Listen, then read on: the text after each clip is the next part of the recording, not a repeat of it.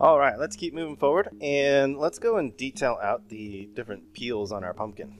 All right, so let's jump back into Houdini. Okay, so what we need to do is we need to come in here and work on each individual peel, at least as I'm calling them, uh, on our pumpkin over here, okay?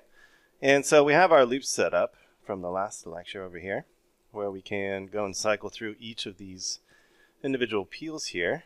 All right, what I want to do is I want to drop down a add node, all right, because I need to get all these horizontal lines extracted from this particular mesh. And this add node will help us do that. All right, so what I'm going to do is I'm going to hook up that add node and hit delete geometry, but keep the points. So I still have all my points around. Super cool. And we can come in here into the polygons tab and hit the by group. And what this will do is it'll allow us to start to connect the points together based off of a pattern. All right, just like how our group by range used a point numbering range to create a pattern to group the prims into. We can do the same with this add node. So what I'm going to do is set this to skip every nth point. All right, so we're going to skip every so many points. And what I need to do here is I need to get the number of points from our profile, just like we did in that group range. So we could actually just come up to our group by range node. And actually, let's just select the endpoints function without the minus 1 and we will go and put this into the n parameter here. All right, and hit enter, and look at that. And that's because we're skipping every other point basically in our profile. All right, so we have 18.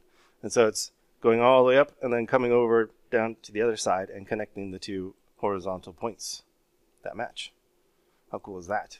So with that, what we can do is we can come in here and drop down a carve node because I'm looking to put a couple points in the middle here. I need, and I need that offset uh, to be equal on both sides here. So if I were to put in this carve node currently into this add node, you can see I can pull off you know, one side of the curves there.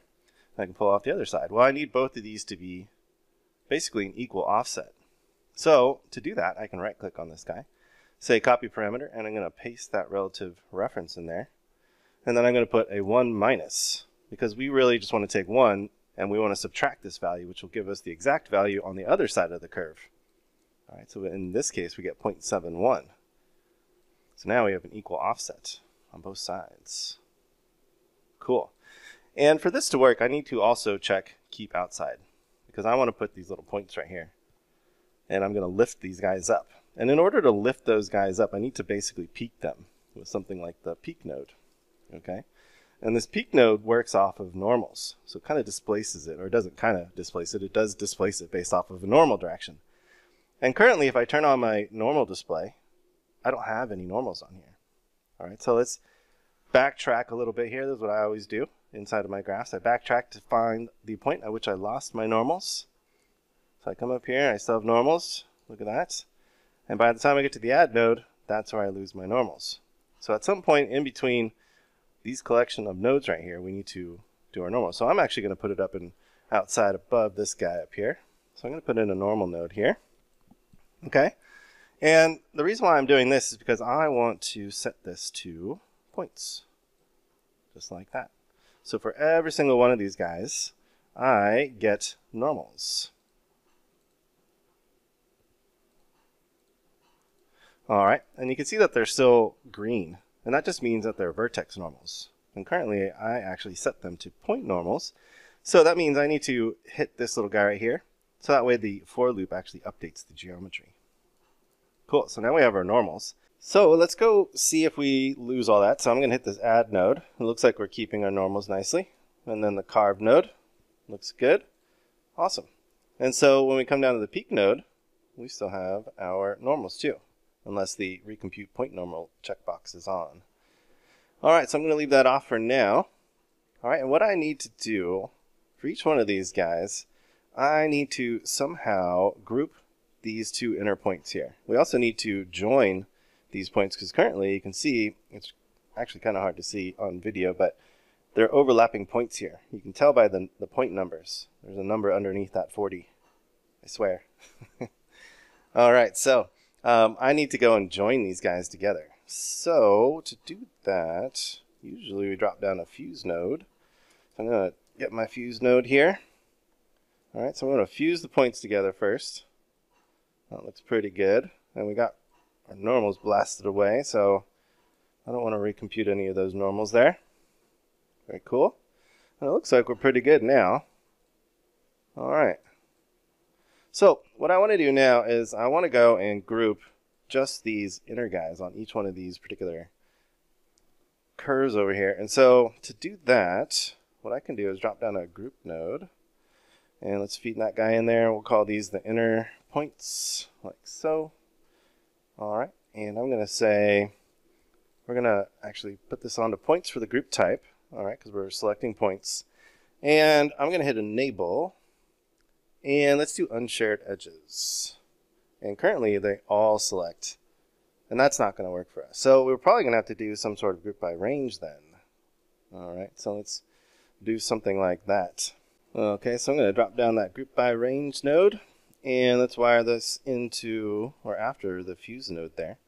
And I need to set this to work on points. All right, let's name this our inner points here.